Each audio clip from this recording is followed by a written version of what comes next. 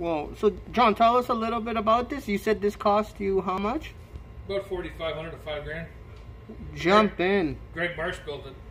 Shout out to Greg Marsh. Oh yeah, Greg Marsh.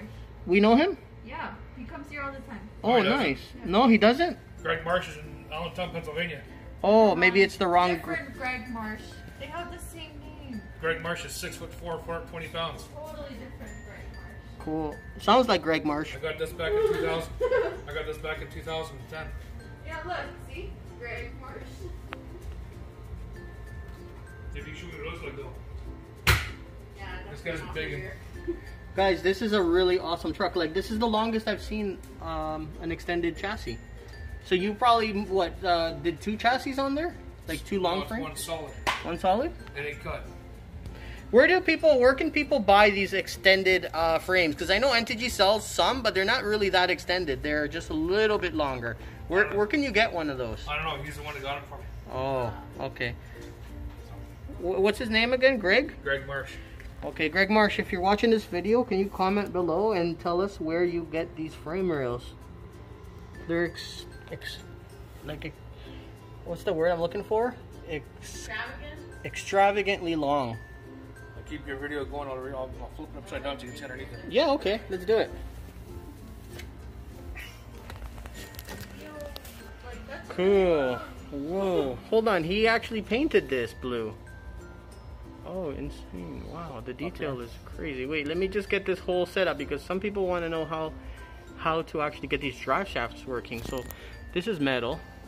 Is it? Yeah, this is like an Axial SCX Axial SCX10 drive shaft here. Similar to it, not exactly that. Maybe a little modded. And then this is the stock. This is the one I believe that comes with it, the truck.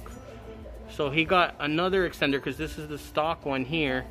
So you could see the stock, and then he got another one that looks similar to stock, just different length, and then he got a different drive shaft there. So he's got like three, three different drive shafts there.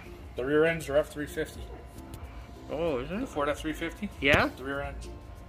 Cool, man. And then all this here, these here, it all glows blue. Yeah, I see. That looks awesome. He's got the multi-function unit. The cables are all cleaned out too. So there's nothing like sticking out. Everything is done really nice. That's good. That's fantastic. I love this here at the front. This is metal, right? Yeah. I love this. Look at that. That looks so great. This is almost like a Kenworth, a right? Kenworth. It's the Kenworth, yeah. Yeah. front end on it. Suicide doors. Open backwards. Oh, sick.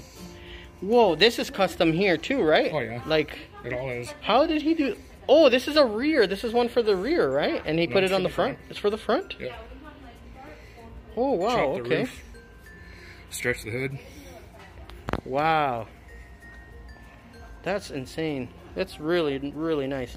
You gotta wipe it down a little bit though, because Yeah, it's a little bit uh, dusty. looks a lot better when it's cleaned up. Yeah, but it's good. Oh, awesome.